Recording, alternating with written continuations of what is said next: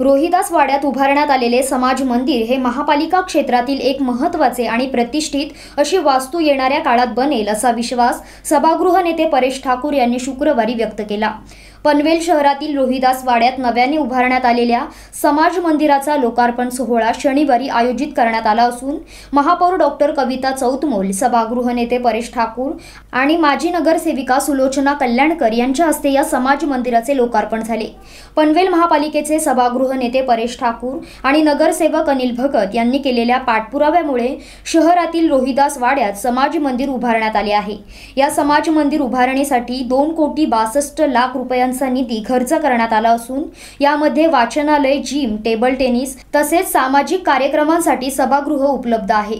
या लोकार्पण सोहळ्याला पनवेल महापालिकेचे नगरसेवक राजू सोनी नगरसेविका दर्शना भोईर रुचिता लोंढे माजी नगरसेवक अरविंद सावळेकर शहर सरचिटणीस अमरीश मोकल प्रभाग क्रमांक एकोणीसचे अध्यक्ष पवन सोनी रोहिदास समाजाचे अध्यक्ष लक्ष्मण कल्याणकर शशिकांत मोहोकर दिनकर गव्हाणकर संजय जाधव प्रवीण मोहोकर रजनीश जाधव यशवंत जाधव तानाजी झुगे मधुकर उरणकर शांताराम कल्याणकर प्रवीण दुष्मीकर राकेश जाधव जिज्ञेश मोहकर सिद्धार्थ मोहिते यांच्यासह पदाधिकारी आणि कार्यकर्ते उपस्थित होते.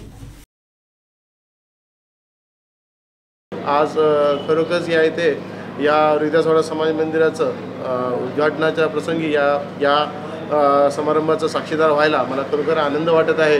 की एक बहुप्रतीक्षित असं समाज मंदिर पूर्वीपासून या इथे एक समजा पूर्वी एक समाज मंदिर होतं. तर त्याच्या जागी मग समजा काळानुरूप एक समजा अतिशय चांगलं भव्यदिव्य असं समाज मंदिर उभं राहावं अशी या इथे बऱ्याच काळापासूनची या इथे मागणी ही होती आणि त्या दृष्टीने या इथं समाजाकडून वारंवार सांधा इथं मागणी केली जात होती.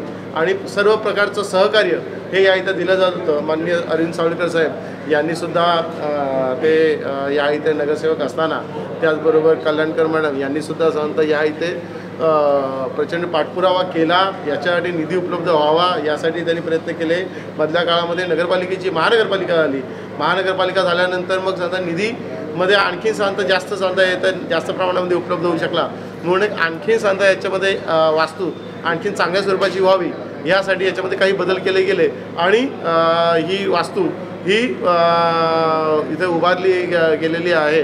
आणि खरोखरच या वास्तूचं काम पाहिलं तर मनाला मला खरोखर आनंद वाटतो. मधल्या काळामध्ये याचं काम होतं ते एकदम संत थंडावलेलं होतं. मुळामध्ये याचं काम हे नोव्हेंबर दोन हजार एकवीसमध्ये पूर्ण होणं अपेक्षित होतं. परंतु कंत्राटदाराकडून या इथे भरपूर उशीर झाला. त्याचप्रमाणे इतर कारणंसुद्धा होती. मधल्या काळात कोरोनाचं सुद्धा कारण मोठ्या प्रमाणामध्ये होतं.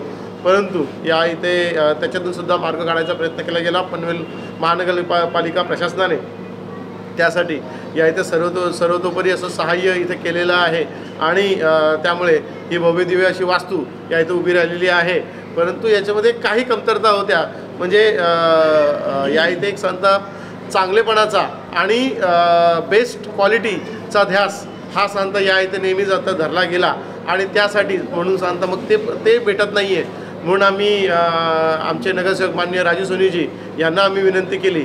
आणि त्यांनी आमच्या विनंतीला मान देऊन त्यांनी स्वतः हे काम हातात घेऊन हे काम आणखीन चांगल्या पद्धतीने व्हावं म्हणून जे प्रयत्न त्यांनी केलेले आहेत अत्यंत महत्त्वाचे असे प्रयत्न आहेत. आणि त्याच्यामुळेच ही वास्तू ही पनवेल महानगरपालिकेची पालिका क्षेत्रातली एक महत्त्वाची एक प्रतिष्ठित अशी वास्तू म्हणून ओळखली जाईल असा मला पूर्ण इथं भरवसा आहे.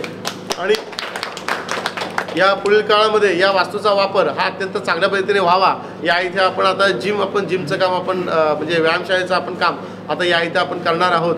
त्याचबरोबर या इथे एक लायब्ररी एक सुसज्ज अशी लायब्ररीसुद्धा आपण करणार आहोत. त्याचप्रमाणे दोनशे जणांचं बसण्यासाठीचं असं एक सभागृहसुद्धा बनवलेलं आहे. हे तर यापैकी जी जी व्यायामशाळा आहे आणि जी लायब्ररी आहे याचं काम हे पुढील काळामध्ये लवकरात लवकर पूर्ण केलं जाईल. आणि त्या दृष्टीने आम्ही महानगरपालिकेच्या प्रशासनाकडे आम्ही पुन्हा एकदा आम्ही समजा या सर्व समाजातर्फे पाठपुरावा करू असं मी ते सांगू इच्छित आहे.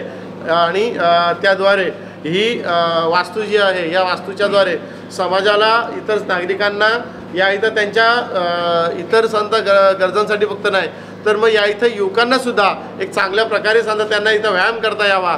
त्याचबरोबर विद्यार्थ्यांना आणि इतर आणि इतरांना सुद्धा या इथे वाचन स- वाचन करून त्यांना त्यांच्या माहितीमध्ये भर घालता येईल. त्याचप्रमाणे एक वाचन संस्कृतीला चांगल्या प्रकारे या इथं आपल्याला प्रतिष्ठा निर्माण करून देता येईल अशा प्रकारची परिस्थिती निर्माण करण्यासाठी भारतीय जनता पार्टी ही प्रतिभा ही कटिबद्ध आहे. सर्वजण आज या ठिकाणी उपस्थित रा झालेले आहेत. गेल्या अनेक वर्षापासूनची ही मागणी होती आमची. त्यासाठी आमच्या वहिनी कल्याणकर मॅडम नगरसेविका असताना त्यांनी प्रस्ताव दिला होता. तो तो सुरुवातीला रिपेरिंगचा होता. पण नंतर ज्यावेळेस मी नगरसेवक झालो या ठिकाणी तर त्यावेळेस आम्ही सगळं ठरवलं. त्यावेळेस ते पण नगरसेविका होत्या.